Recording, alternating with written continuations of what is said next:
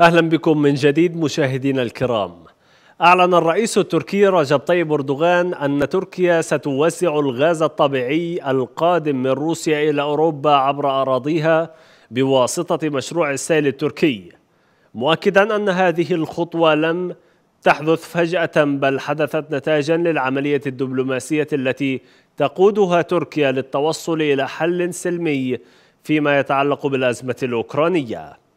أما وزير المالية والخزانة التركي نور الدين نباتي فقد أكد من الرياض موقع تركيا الجغرافي الذي يتيح لها أن تكون ممرا للطاقة من السعودية وروسيا وإيران ويقول إن أي نفط أو غاز طبيعي يتم نقله عبر البلاد سيكلف أقل وسيشحن بأمان أكبر فهل تتحول تركيا لأكبر مركز لنقل الطاقة في الشرق الأوسط؟ هذا ما أناقشه مع ضيفي في الاستديو الأستاذ جلال بكار. أهلا بك أستاذ جلال. أهلا وسهلا بك. حياك الله. ولكن دعنا نتابع هذه المادة وإياك. نتابع مشاهدينا الكرام.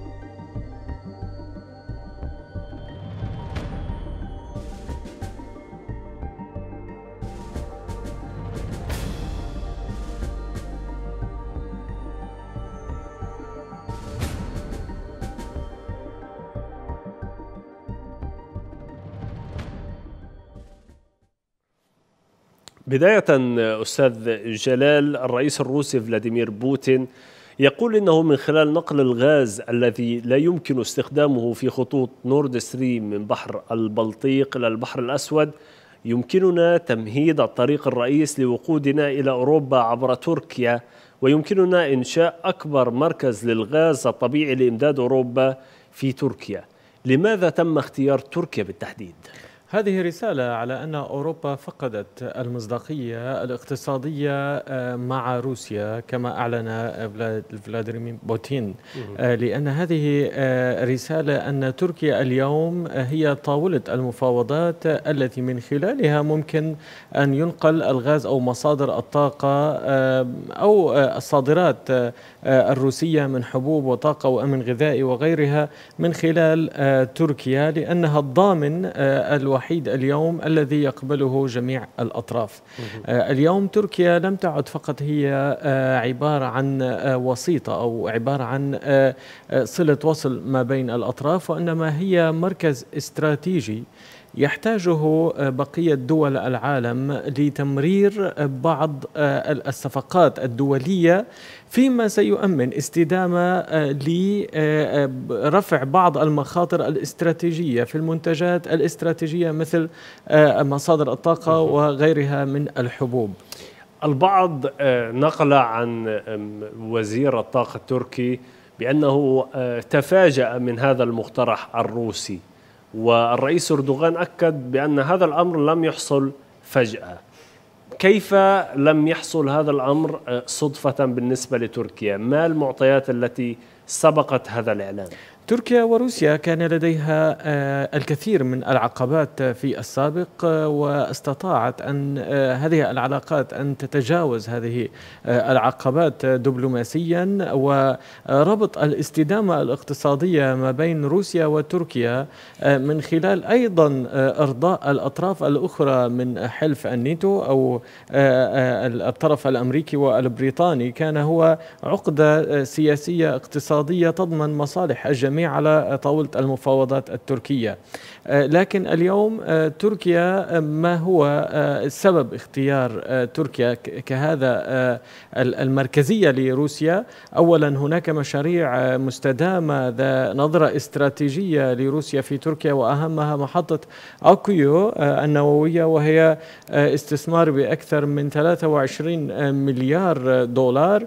وأيضا أن تركيا هي تمثل بعض من الأمن الغذائي وبعض من القطاع الصناعات وبعض قطاعات اللوجستيات التي هي مختصة في البنى التحتية أيضا في روسيا. يعني هناك مشاريع أيضا للشركات التركية في داخل روسيا تعمل في البنى التحتية وأيضا هناك بعض المنتجات الغذائية الاستراتيجية يتم تصديرها من تركيا إلى روسيا بشكل سنوي.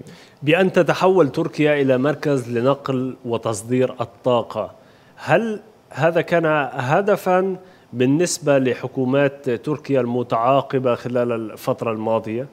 هي ليس فقط آه، هدف وإنما هي استراتيجية آه، بغض النظر عن الظروف الدولية، اليوم عندما أنت تخلق قيمة مضافة آه، لك من خلال الاستفادة من موقعك الجغرافي وأيضا من خلال الاستفادة من الدبلوماسية الخارجية وأيضا القوى الدولية أصبحت تعتمد على التواجد التركي على المستوى الإقليمي، هذه نقاط جميعها وضعت تركيا في طاولة الحوار الوحيدة اليوم الدولية التي من خلالها تستطيع هذه المنصة التركية إيصال أي فكرة إيجابية لتجاوز الأزمات الدولية. اليوم الجميع يحتاج إلى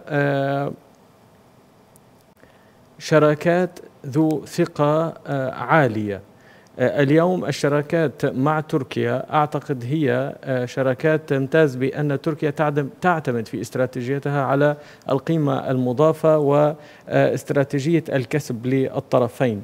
يعني تركيا لا تعتمد استغلال الموقف أو حتى الاستثمار في استغلال المواقف وإنما تركيا تعتمد على ما يحتاجه العالم آه، من آه، ممكن أن نقول نواقص سوف تصبح مستقبلية وبشكل قريب.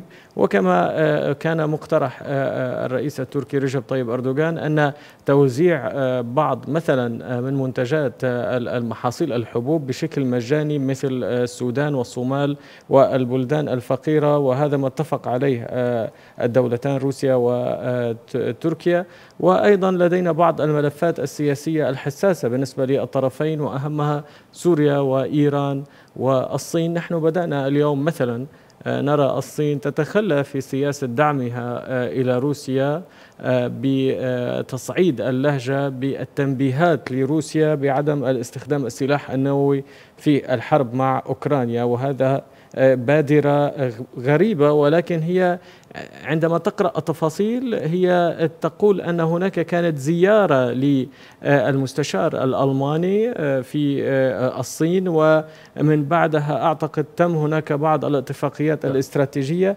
وعلى هذا يعني تم التصريحات من قبل الصين والتنبيهات لروسيا بعدم استخدام السلاح النووي. وبأخذنا بهذا الكلام أستاذ جلال لأطراف دولية لو تحدثنا عن حرب الطاقة المتصاعدة في العالم دخول تركيا إليها آه، كطرف آه، ليس مع طرف آه، منخرط أساسا في هذه الحرب ولكن ربما لتهدئة حدة هذه الحرب المشتعلة أساسا بين أطراف كثيرة حول العالم. ما طبيعة هذا الدخول التركي في هذه الحرب؟ اولا آه، هو دخول استراتيجي. يضمن آه، أن يكون هناك خطوط عبور استراتيجية آمنة آه، لا يمكن العبث بها لأنها هي هذه الخطوط دائما تحت السيطرة التركية أي ليس هناك حدود متعددة قريبة من هذه الخطوط. يعني هذه الخطوط تبدأ من تركيا وتنتهي من تركيا وصولا إلى الاتحاد الأوروبي منها إلى الشرق ومنها إلى غرب أوروبا. آه هذا اولا. ثانيا آه نحن لدينا بعض آه أعتقد آه الفرص اليوم آه لتركيا لتهدئة آه الأجواء الدولية آه لأننا نحن آه أعتقد وصلنا إلى بوادر الحرب العالمية الثالثة. ولكن آه تركيا اليوم أعتقد غيرت بعض المفاهيم من لتخليص أعتقد دول العالم اليوم من هذه مشقات أو تبعيات الحرب الروسية الأوكرانية. نحن دائما ما ننظر إلى التأثيرات الجانبية وليس تأثير الحدث نفسه. يعني نحن اليوم إذا نظرنا إلى الكوارث الاقتصادية اليوم هي تأثيرات جانبية لجائحة كورونا وإنما الجائحة انتهت ولكن تأثيراتها هي من تبقى واليوم لدينا القضية الروسية الأوكرانية وهي أعتقد في يوم ما ستنتهي إما ممكن من خلال حرب أو ممكن وتبقى من خلال التداعيات. تفاوضات وستبقى التداعيات ولكن من الممكن اليوم أن تخفض هذه التداعيات ببعض الاتفاقيات والموازنات الدولية الدبلوماسية الاقتصادية والسياسية بحيث الجميع يضمن يعني مطالبه تحت طاولة هذه الحوار ومن نتائج هذه الحرب أستاذ جلال علاقات تركية روسية قوية وفيها الكثير من الاتفاقيات خصوصا في مسألة الطاقة. تركيا تبعت سياسة توازن واضحة خلال الأشهر الماضية بين الشرق والغرب بين روسيا والغرب من جهة أخرى. ولكن إذا ما انخرطت في هذه الحرب حرب الطاقة هنا أقصد هل يمكن أن توازن بين روسيا والغرب داخل هذه الحرب؟ من الطبيعي أن ممكن أن توازن لأن اليوم تركيا هي جزء من حلف الناتو. وروسيا جزء من المجتمع الدولي هو عضو دائم في مجلس الأمن. وهناك نزاعات أصبحت أمريكية أوروبية روسية أوكرانية واضحة. واليوم أمريكا حفزت أعتقد المعركة الروسية الأوكرانية ووضعت الأوروبيين في أعتقد في هذا المعترك الذي ليس له نهاية. يعني اليوم الاتحاد الأوروبي أعتقد هو يعاني ممكن أن يكون يعاني لفترة زمنية من السنة إلى سنتين. ولكن الاتحاد الأوروبي قادر أعتقد أن يتجاوز هذه الأزمة ولكن سيكون هناك بعض تغير في الشراكات الدولية وبعض الموازين القوى. هل تتحول أستاذ جلال تركيا لأكبر مركز لنقل الطاقة في الشرق الأوسط على الأقل. بشكل بسيط ممكن لأن موقعها الجغرافي يساعد على هذا الموضوع. التوازنات الدولية تواجدها دبلوماسيا تواجدها عسكريا. أعتقد أهم نقطة ممكن أن تكون مهمة لتركيا هي الاستقرار الداخلي الذي من خلاله سيؤمن الاستقرار وخاصة أن تركيا مقبلة على انتخابات في وقت قصير. وزير المالية والخزانة التركي نور الدين النباتي يقول إن تركيا قادرة أن تكون مركزا لتصدير الطاقة إلى أوروبا من دول مثل السعودية هل نشهد تعاونا سعوديا تركيا في مسألة الطاقة؟ من الممكن أنا أقول لك اليوم نحن ممكن أن نشهد عهد جديد من المفاوضات وعهد جديد من الشراكات الاستراتيجية الدولية.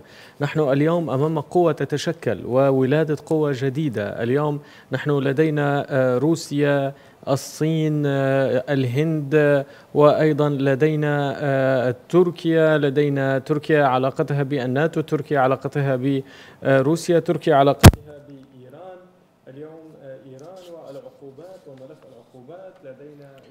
جميع القوى الدولية اليوم تعيش في إعادة تقييم للأوضاع الدبلوماسية والشراكات الدولية لخلق شراكات ممكنة لكي تكون أكثر انصافا في هذا النظام العالمي يعني. طيب أستاذ جلال بالنسبة أيضا للحديث عن تركيا يبدو وان هذه التطورات على مستوى الطاقة ستكون لها نتائج وانعكاسات على الاقتصاد التركي. اليوم صندوق النقد الدولي ينصح تركيا برفع سعر الفائدة وهذا أحدث ضجة كبيرة في الأوساط التركية بأن هذا يخالف بشكل صريح سياسة أردوغان الاقتصادية المتبعة في الداخل التركي كيف تعلق على هذه النصيحة؟ آه، تركيا دائما ما تعيش